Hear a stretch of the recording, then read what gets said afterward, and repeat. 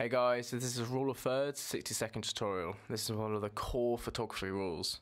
So we head over to Instagram, 500px, one of my favourite photography websites. Let's go and see this lovely sunset photo on the waterfront. By putting in the guidelines, you can see how the photographers align the houses with that top upper line. Now if we head back over to Instagram see we can find some more photos. Uh, this is one of my favourite shots currently. I love the way this mountain is framed with kind of the mist and everything. And as you can see, that bottom silver handrail is aligned perfectly. This is done by the photographer to help uh, frame the image. So just to summarise everything we've seen from these images, first thing you've got to do is turn the rule of thirds on in your camera. This could be your iPhone, your DSLR, and it's usually found in the settings. Once you've done that, try to align your images with these lines.